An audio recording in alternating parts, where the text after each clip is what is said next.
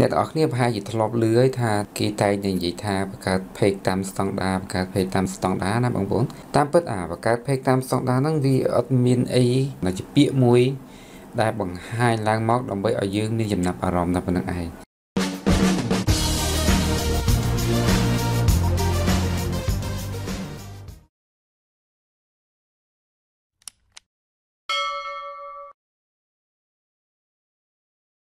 បាទសួស្តីអ្នកទាំងអស់គ្នាថ្ងៃនេះខ្ញុំនឹងធ្វើវីដេអូមួយនិយាយពីការបង្កើត page តាមរយៈទូរស័ព្ទដៃហើយឲ្យត្រូវស្តង់ដារ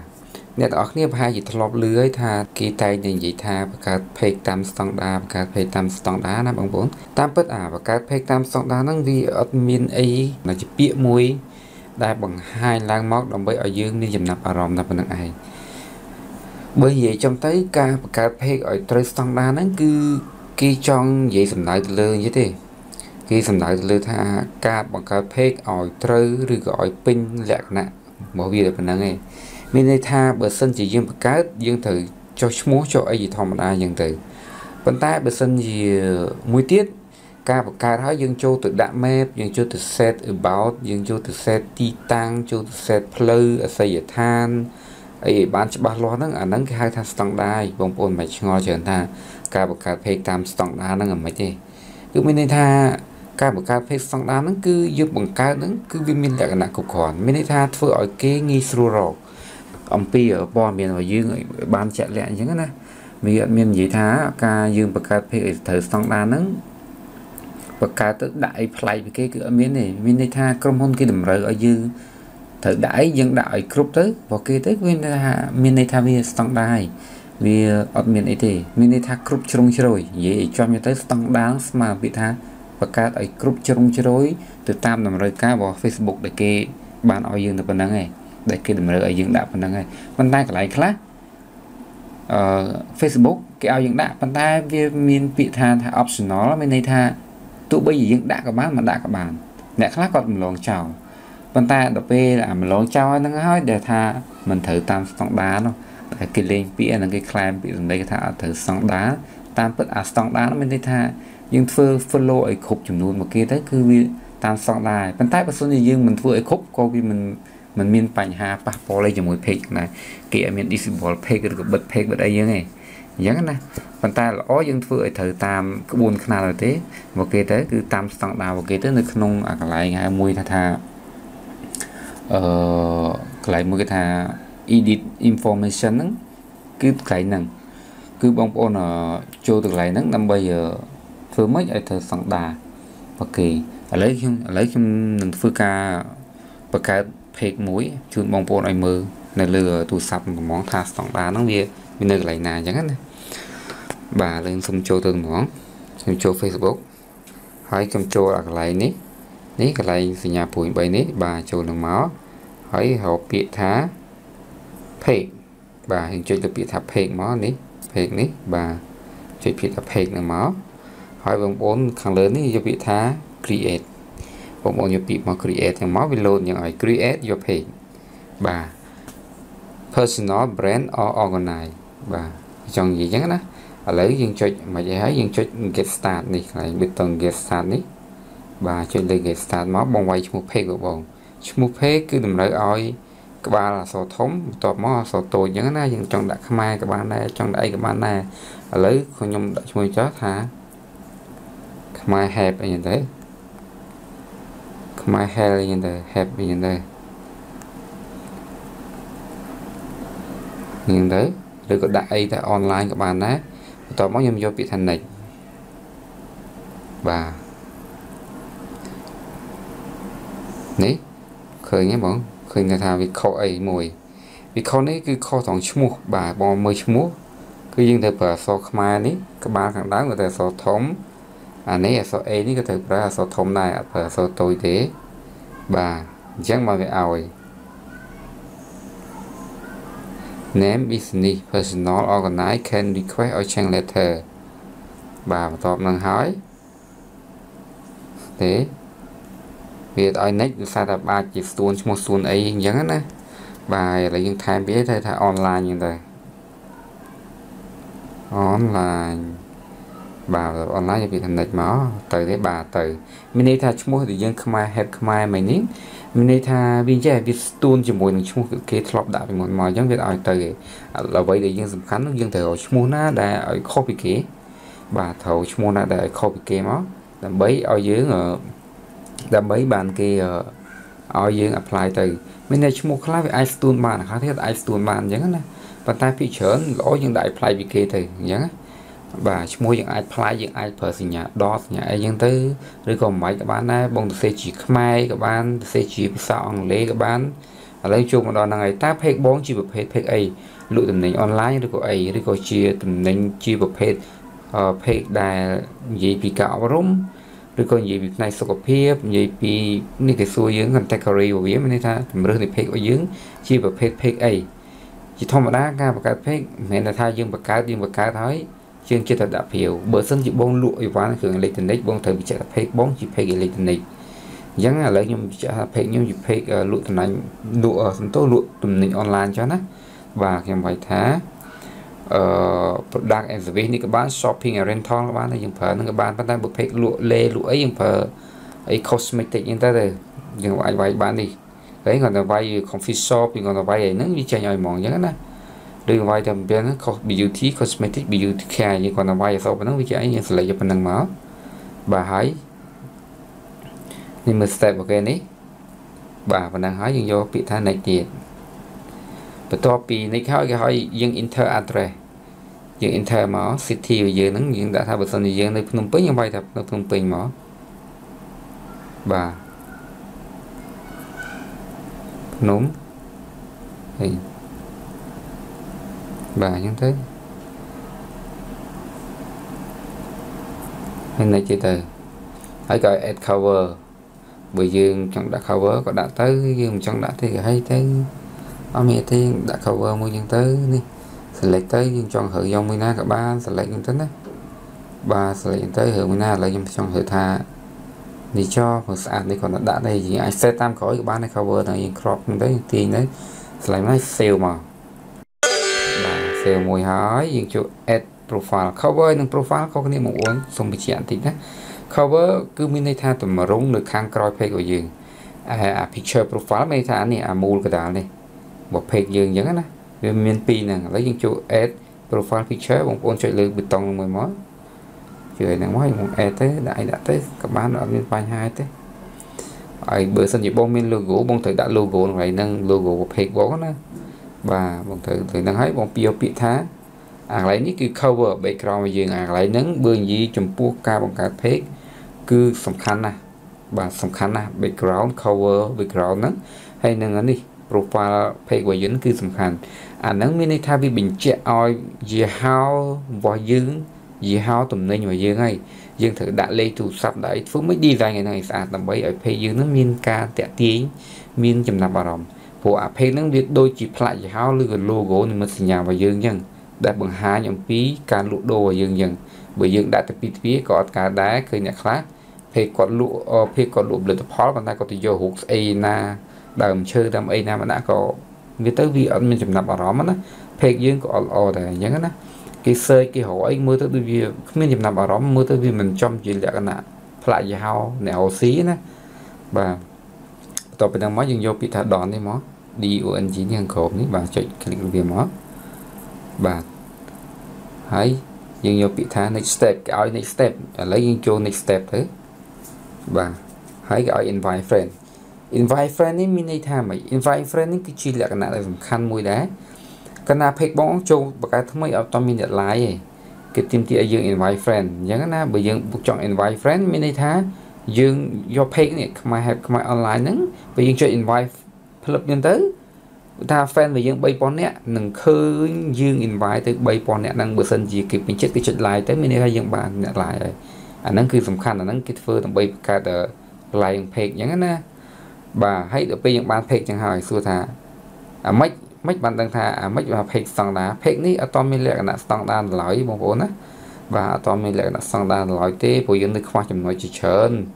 បាទដើម្បីថាចូលនេះយើងត្រូវចូលកន្លែងខាងលើនេះនេះគឺប៊ូតុង3ខាងលើនេះបាទចុចលើហ្នឹងមកคลิกលើប៊ូតុង3កន្លែង option វាខាងលើមកបងចូលកន្លែងពាក្យថា page info បាទចូល page info មកបងនឹងឃើញហើយបាទឃើញហើយឈ្មោះ category មានអីអស់ហើយប៉ុន្តែអ្វីដែលយើងមិនតន់មានបើសិនជាយើងនៅលើទូរស័ព្ទនេះយើងមើលទៅវាអត់ឃើញអីទាំងអស់ប៉ុន្តែបើសិនជាបងមើលនៅក្នុង computer គឺប្រកាសជាចេញក្រហមទី1គេឲ្យ add website ទី2 add description about page មានន័យថានិយាយព័ត៌មានអំពី page របស់យើងបើសិនជាយើងមាន website យើងដាក់ website ទៅបើថាបើថាយើងអត់មាន website ទេយើងមិនដាក់ website ទេឥឡូវខ្ញុំសូមធ្វើធ្វើវាហ្មងឈ្មោះយើងមានហើយ category យើងមានហើយ profile cover photo ក៏មានអឺបាទ cover photo ក៏មាន profile ក៏មានអីក៏មានហើយប៉ុន្តែអ្វីសំខាន់គឺវាឲ្យ add website ឥឡូវនេះយើងអត់នៅខ្វះ add website នៅសល់ add description add phone add email location and hour មានន័យ hour នេះមានន័យថាចេះមានន័យថាម៉ោងធ្វើការរបស់បងមានន័យថាបើសិនជាបងបើកក្រុមហ៊ុនឬក៏បើកអាជីវកម្មលក់អនឡាញបងត្រូវដាក់ម៉ោងធ្វើការបងដាក់ពីម៉ោងប៉ុន្មានដល់ម៉ោងប៉ុន្មាននៅពេលដែលគេសេថាគេចង់ស្វែងរកបងយ៉ាងយប់អញ្ចឹងព្រោះថាបងបិទទៅម៉ោង9ម៉ោង10គេសេទៅគេឃើញអូខ្លោះឲ្យម៉ោងគេជប់សម្រាប់អីអញ្ចឹងណា អ្នកខ្លះក៏ដាក់ always ហ្មងម៉ោងប៉ុន្មានក៏បានដែរ24ម៉ោងហ្មងក៏បានដែរឥឡូវចូលទៅ add website គេសួរទៅយើងចង់ add website យើងឲ្យលើនេះ www. អីចឹងទៅណា dot អីចឹងទៅប៉ុន្តែបើសិនជាយើងអត់មាន website ទេយើងដាក់ថា my page is not website យើងចុច click លើនឹងមួយមកបាទបន្ទាប់ពីចុចលើនឹងមួយមកមកថយមកក្រោយវិញម្ដងទៀត click លើនឹងមួយមកហើយពាក្យថា save ចុច click លើពាក្យថា save ចឹងមកណាបាទអឺ ហ្នឹងនិយាយដាក់ថា website no website បើសិនជាបងមាន website បងដាក់ www.khmerhepkhmeronline.com ដូចខ្ញុំទេមិញនេះក៏បានដែរ .kh ហ្នឹងក៏បានដែរហើយ add description នេះគេចង់និយាយពីការព័ត៌មានវិភេកតា page យើងក៏ហ្នឹងក៏ជាសំខាន់ដែរអ្នកដែលគេចង់ចូលទៅទិញតំណែងរបស់យើងគេប្រកាសទៅចូលទៅគេមើលអា description ហ្នឹងហើយអ្នកខ្លះគាត់ចូលតា page ហ្នឹងគាត់លក់អីគេប្រកាសអញ្ចឹងណាអឺមក add description ចុចលើ add description ហ្នឹងឧទាហរណ៍មកអឺ page លក់អីចឹងទៅ page របស់ខ្ញុំអានេះខ្ញុំសេកាត់សិនណា page លក់ទំនិញអនឡាញគ្រប់ប្រភេទ page លក់អីលក់ផលិតផលថែអាសាស្បែកចឹងទៅឈ្មោះផលិតផលថែរក្សាស្បែកចឹងទៅថែរក្សារក្សាស្បែក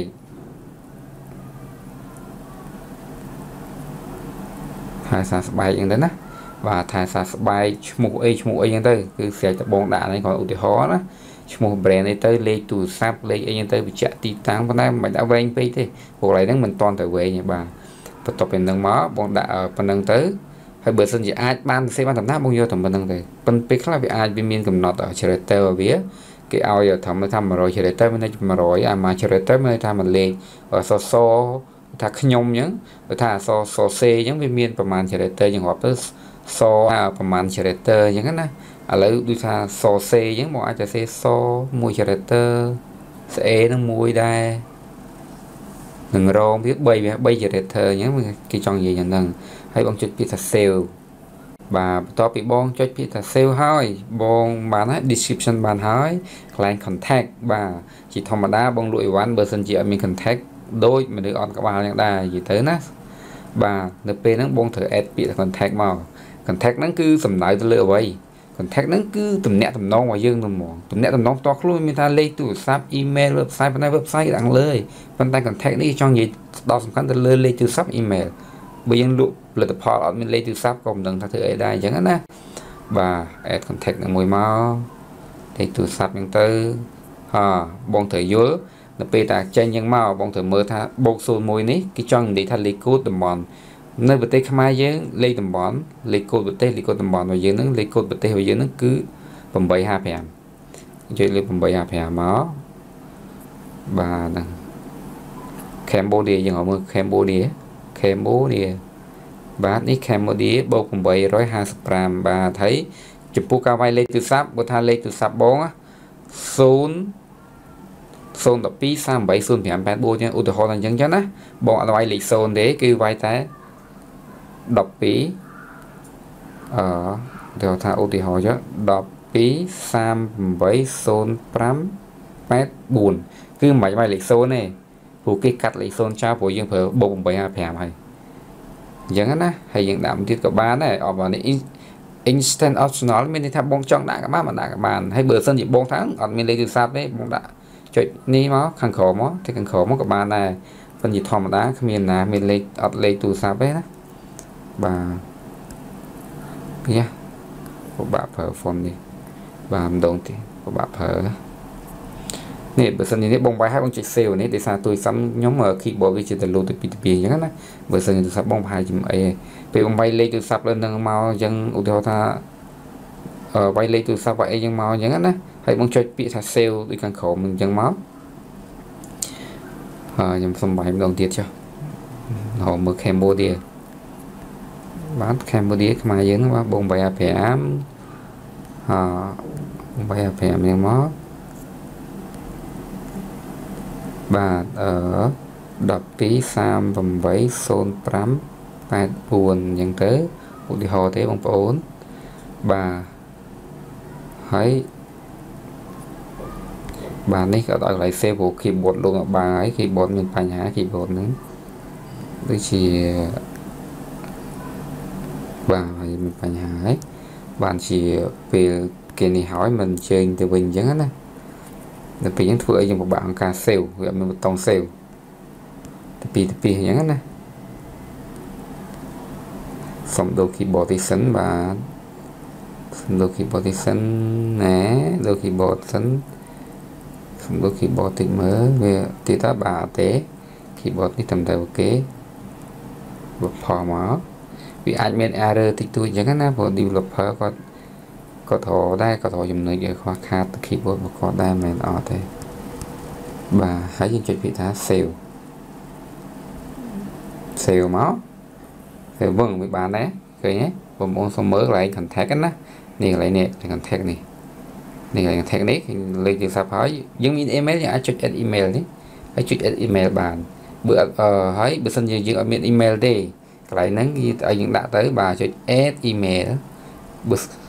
បើសិនជាគ្មាន email ទេបងដាក់ថាអត់ email ប៉ុន្តែបើសិនបងមាន email បងដាក់ email មកបើអត់ទេបងដាក់ថាអត់ចឹងទៅអញ្ចឹងណាបាទប៉ុន្តែមិនដែលថាបើកលក់តំណែងមួយអត់ email មិនទេប៉ុន្តែអ្នកខ្លះគាត់អត់ចង់ប្រើតាម email គាត់ចង់ប្រើលេខទូរស័ព្ទអញ្ចឹងចុច save មកបាន បាទហើយ location នេះក៏ឡៃសំខាន់ដែរបងអាច add street មានន័យថា add street ហ្នឹងទៅឧទាហរណ៍ថាផ្លូវ34នេះអញ្ចឹងទៅអូផ្លូវ34នេះទៅ34ហើយចុចទៅ save មកហើយបន្ទាប់មក add city ភ្នំពេញភ្នំពេញអញ្ចឹងណា ភ្នំពេញបាទភ្នំពេញអញ្ចឹងទៅអាយ៉ាបាក់ផើមែនតើភ្នំពេញភ្នំ P E N A បាទភ្នំពេញ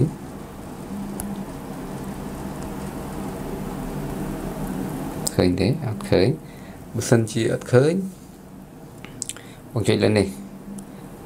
ភ្នំពេញអត់ឃើញប្រហែលជាវាយខុសទេដឹង P H O M ភ្នំ P E N E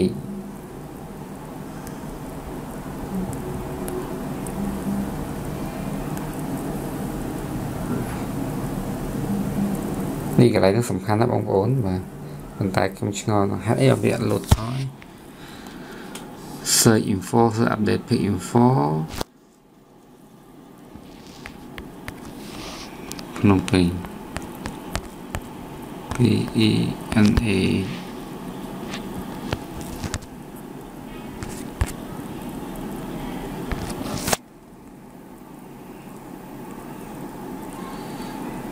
អាប់ដេត city អូ city យើងធ្លាប់ដាក់ពីមុនមកហើយយើងមិនត្រូវប្រហែលអញ្ចឹងយើង add zip មកដ ល់ពី zip zip code ហ្នឹងបងត្រូវចូលទៅមើលបងវាយ search ក្នុងអ៊ីនធឺណិតក៏បានដែរគឺអត់មានទេ zip code ចំពោះទីក្រុងភ្នំពេញយើងគឺ1203ដើមណាចំពោះទីក្រុងភ្នំពេញយើង zip code ណា1203ដើមហើយបើសិនជា zip តាមតំបន់គឺវាខុសគ្នាយ៉ាងទៀតណាភ្នំពេញ zip 1203ដើមហើយបើតាមតំបន់ដូចជាទឹកថ្លាយដូចជា ផ្សេងខណ្ឌតាមខណ្ឌមួយគឺ zip code គឺផ្សេងប៉ុន្តែបើសិនជាបងចង់ខ្ជិលញញ៉ែបងដាក់ zip តែភ្នំពេញមួយក៏បានដាក់ខេមរនីក៏បានប៉ុន្តែល្អដាក់ zip បើយើងនៅភ្នំពេញដាក់ភ្នំពេញទៅ1203ដើមមកអូខេហើយចុច save អូ add map នេះបងចុចលើ add map អានេះសំខាន់ណាស់បងប្អូនណាសំខាន់ណា add map នេះ ACT នេះក៏សំខាន់ប៉ុន្តែអានេះមកមកពីទូរស័ព្ទខ្ញុំមិនដឹងណា បាទប៉ុន្តែបើសិនជានេះបងអាចមិនបញ្ហាទេបង add សំខាន់លើ location នៃ CV add map location និង add CV area មានន័យថា add map ហ្នឹងគឺយើង add ទីតាំងរបស់យើងដែលរស់នៅសំទោទីតាំងអាជីវកម្មរបស់យើងទៅប៉ុន្តែបើសិនជាអ្នកខ្លះគាត់អត់មានទីតាំងទេគាត់មិនបាច់ដាក់បានប៉ុន្តែបើសិនជាមានទីតាំងបងអាចចូលតាមនេះមកចូលឡើង add map add location មកបងស្វែងរកបាទនេះបងអាច zoom បានបាទ zoom បាន សូមឲ្យរកទៅទីតាំងយើងឯណាយើងយកអាភិននេះយើងយកទៅដាក់នៅកន្លែងនោះអញ្ចឹងណា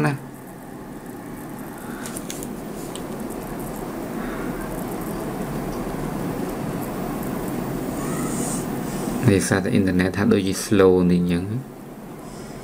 បងអាចយកនេះអាសញ្ញាក្រហមបងអាចទាញយកមកដាក់កន្លែងណាក៏បានណាតាមចិត្តយើងអញ្ចឹងណានេះអូខេគេញ៉ាយបាទបាទ អូខេយើងអាចភិនយកឯណាក៏បានដែរយើងអាចរកមើលមកយើងរកមើល Cambodia យើងមកបាទយើងសូមមករកមើល Cambodia យើងអឺប៉ាគីស្ថាន Thailand នេះ Cambodia បាទនេះ Cambodia យើងរកមើលពាក្យថាភ្នំផែននេះភ្នំពេញក្រូលឲ្យចំមកបាទភ្នំពេញ ភ្នំពេញមកបន្ទាប់ពីភ្នំពេញមកសង្កាត់អូរស័យទី2ខណ្ឌ7មករាបើយើងនៅ2មករាដាក់2មករាទៅសង្កាត់ទួលស្វាយព្រៃឥឡូវដាក់នៅទួលស្វាយព្រៃមកចាស់បាទខ្ញុំខែនឹងឧទាហរណ៍ឡើយហ្នឹងណាផ្លូវយើងមើលលេខផ្លូវនេះ street គេក៏មានលេខផ្លូវលេខអីអញ្ចឹងណាបាទយើងសេវតម្លាក់អាហ្នឹងឲ្យចំហើយហ្នឹងមកបាទឥឡូវខ្ញុំដាក់ទៅនៅផ្លូវសម្ដេចមន្ទីររ៉េតផ្លូវ217កែងនឹងផ្លូវ 338ឧទាហរណ៍គាត់និយាយឧទាហរណ៍បាទដាក់ចំនឹងមកនេះផ្លូវ217កែងមួយផ្លូវ338បាទកន្លែងឧទាហរណ៍កន្លែងជីវកម្មយើងនៅនឹងអញ្ចឹងណាយើងដាក់ចំនឹងមកយើងយកពីថា save បាទឆ្លងហើយបើហ្នឹង add ហើយបាទអត់មានបញ្ហាទៀតទេបន្ទាប់មកយើងដាក់ add CV area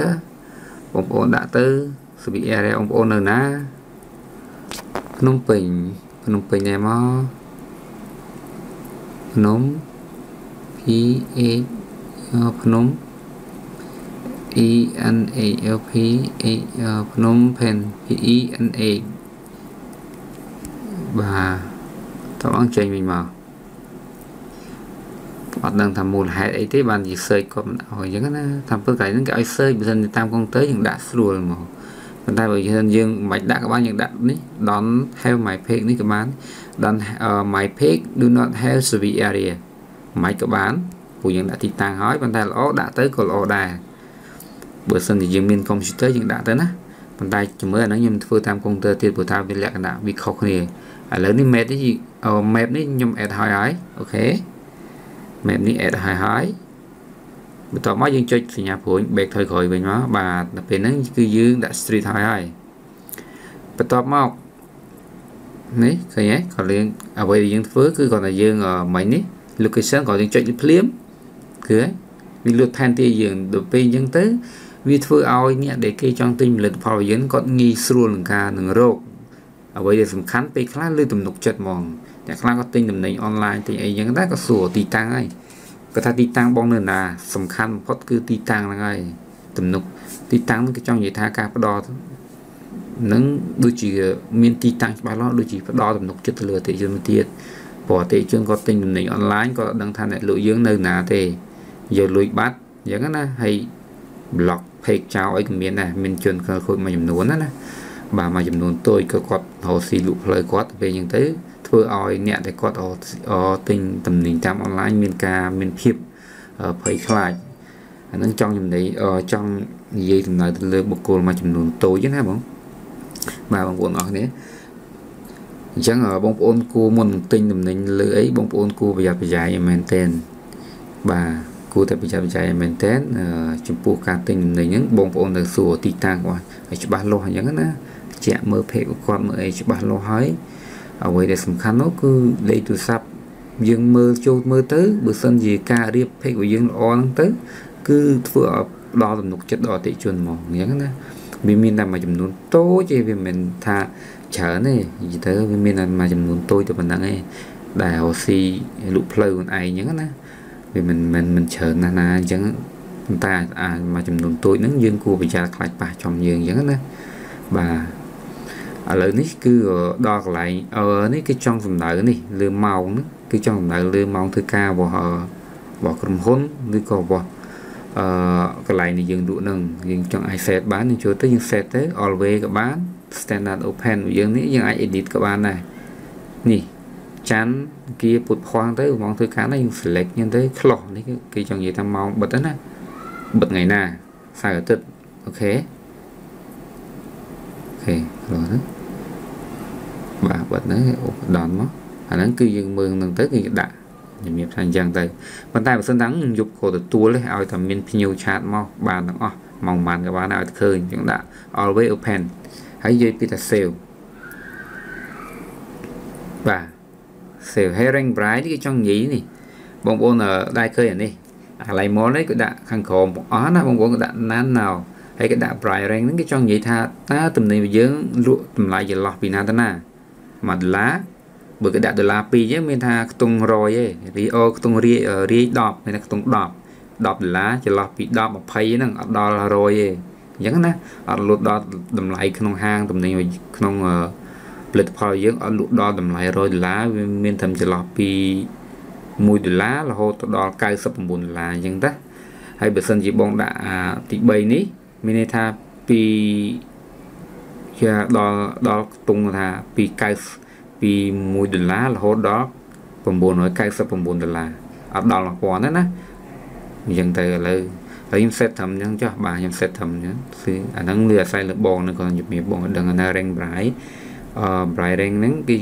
គឺគឺគេសំដៅលើហ្នឹងសំដៅថាតើផលិតផលរបស់យើងហ្នឹងគឺទៅដល់ណាហ្នឹងណាមានន័យថាចន្លោះពីណាទៅណាផលិតផលខ្ញុំលក់30ដុល្លារ30ដុល្លារ អត់លើសពី30អត់លើសពី100ដុល្លារមានន័យថាខ្ញុំមានផលិតផលឧទាហរណ៍ណាបើខ្ញុំលក់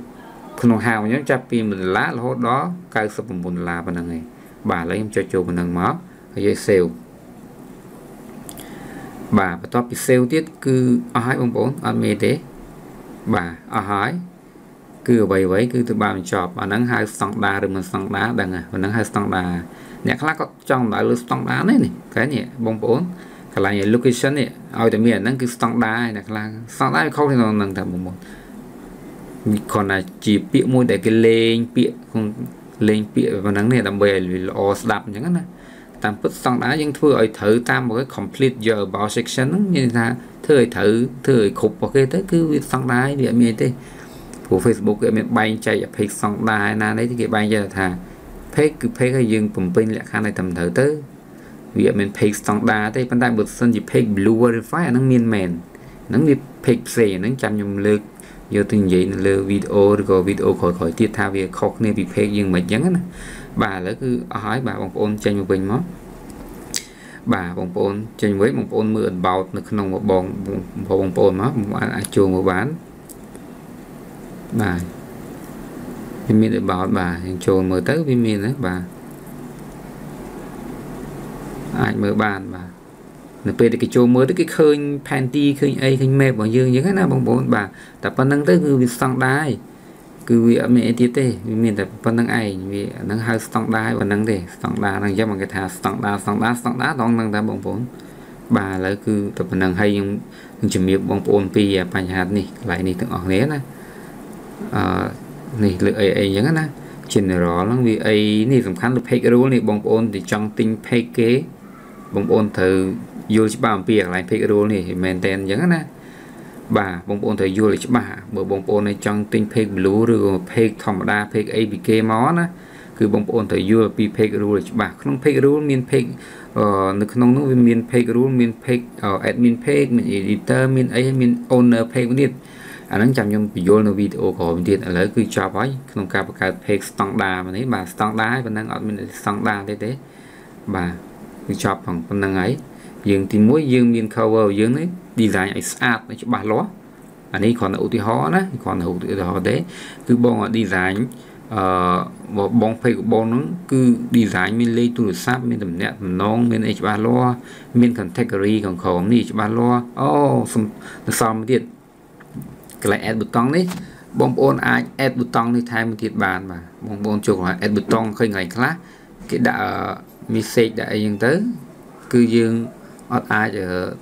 ធ្វើអីផ្សេងបានទេគឺឃើញយើងចង់ add គេដែរកន្លែងខ្លះគេដាក់ប៊ូតុង call កន្លែងខ្លះគេដាក់ប៊ូតុង message អញ្ចឹងយើង add message យើងត្រូវ add ប៊ូតុង message មួយទៀតមកដើម្បីចូលទៅមានលក្ខណៈអញ្ចេះបាទគឺចូលទៅគឺមានលក្ខណៈអញ្ចេះឃើញមកឃើញបាទនេះគេដាក់គេដាក់ engage មក message ហ្នឹងមានន័យថានៅពេលដែលគេ click លើហ្នឹងទៅ គឺវាចេញ message ហ្មងអញ្ចឹងណាបាទ គឺនៅពេលដែលឃើញនៅពេលដែលគេយើង search នៅក្នុង page យើងគឺវាចេញ engage មក message ប៉ុន្តែបើសិនជាអ្នកដតីគេ search គេមិនមែនជា admin page យើងគេនឹងឃើញថា send message អញ្ចឹងណាឬ message អញ្ចឹងបងប្អូនត្រូវចូលទៅកែអាហ្នឹងអាហ្នឹងបងប្អូនត្រូវចូលទៅកែអាហ្នឹងមកបាទចូលក្នុង page របស់យើងមកហើយបងប្អូនចូលទៅ add button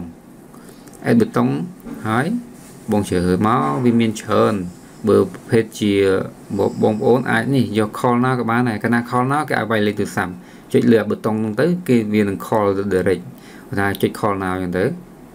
បាទហើយវាយលេខទូរស័ព្ទទៅឧទាហរណ៍អញ្ចឹងទៅ0123805 584នេះឧទាហរណ៍អញ្ចឹងណាបាទហើយចុច create មកអ get គឺវានឹងចេញ get មក call ហើយប៉ុន្តែអាហ្នឹងនៅក្នុងរបស់យើងអញ្ចឹងណា ប៉ុន្តែបើនៅរបស់គេគឺអត់ចេញអញ្ចឹងទេគឺចេញថា call now អញ្ចឹងទៅដល់ពេលយើងទៅយើងចុចគ្រាន់គេចុច call វឹងចុចលើប៊ូតុងនឹង flat នឹង call ទៅ direct មកមិនបាច់ឲ្យគេរកស្វែងរកលេខទូរស័ព្ទទៀតទេហើយមួយទៀតយើងអាចដូរបានយើងចុចយើងចង់ដូរអីយើងចង់ដាក់ message យើងចុចកន្លែងនេះសញ្ញា3ហើយ option នេះចុចនឹងមកហើយបងយកពី edit ប៊ូតុងបន្ទាប់ edit ប៊ូតុងមកបងអាចជ្រើសរើសយកផ្សេងអញ្ចឹងណាយកប៊ូតុងផ្សេងឧទាហរណ៍នេះ add សំទោស ឲ្យប៊ូតុងផ្សេងបាទ add អីផ្សេងទៅបងអាច edit view យើងថា edit ប៊ូតុងគឺក៏បងប្អូននេះបងប្អូនចុច delete សិនបាទ delete ឲ្យ confirm ឲ្យមកហើយខ្ញុំ add វាថ្មីមួយទៀតបាទចុចហើយអាច add ថ្មីនេះបងអាច add ប៊ូតុងថ្មីទៀត add message ក៏បានដែរចុច add មួយមកហើយប៊ូតុងមកហើយយកពាក្យថាបាទ add នេះបើវាថា send message តែប៉ុណ្្នឹងឯង បាទចុច create ខាងលើនេះមក